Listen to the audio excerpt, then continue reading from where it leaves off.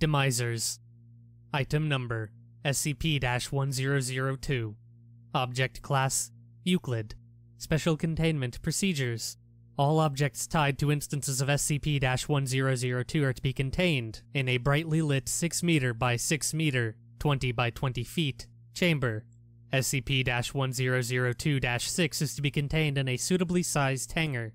No D class personnel are to come within 10 meters of the containment chamber or hangar.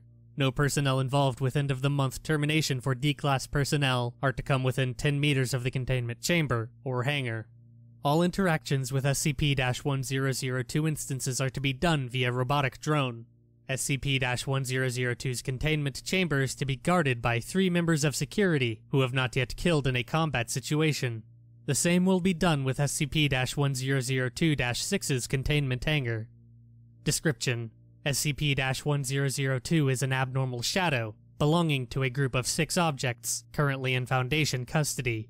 Each of these objects possesses the shadow of a humanoid individual dressed in a law enforcement uniform.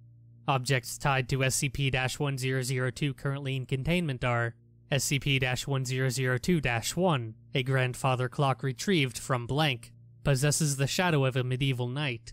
SCP 1002 2, a small pole retrieved from blank, possesses the shadow of a member of the blank PD. SCP 1002 3, large printer retrieved from blank, possesses the shadow of a Roman soldier. SCP 1002 4, a pigeon retrieved from blank, possesses the shadow of a member of the blank police force. SCP 1002 5, a kitchen knife retrieved from blank, possesses the shadow of a security guard at the blank casino. SCP 1002 6, a Boeing 737 retrieved from blank, possesses the shadow of a member of a SWAT team. The objects tied to SCP 1002 do not behave in an anomalous manner, with the exception of their shadow. SCP 1002 tied to these objects are dormant and stationary until an individual who has committed what is socially considered to be a crime in the last six months comes within 10 meters of the object they are tied to. At this point, SCP 1002 instances will become active and manifest as a dark humanoid figure similar in appearance to their dormant stage. SCP 1002 will then attempt to pursue the targeted individual.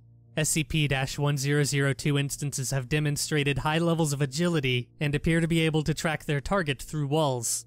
If the targeted individual moves 10 meters away from the SCP 1002 instance, it will return to a dormant state at its original object. If the individual is caught by this manifestation, they will inflict a physical punishment directly proportionate to the crime the individual has committed. Despite the severity of this physical punishment, the victim will remain alive and conscious until taken 10 meters away from the manifestation.